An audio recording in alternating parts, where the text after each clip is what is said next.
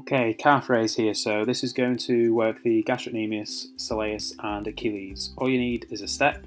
So bottom step of the staircase usually works best and then just use something for a bit of balance.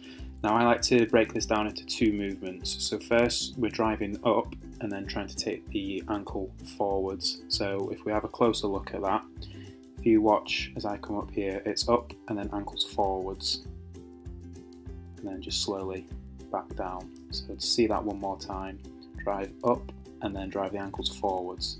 So aim for about 12 repetitions and then try this four times.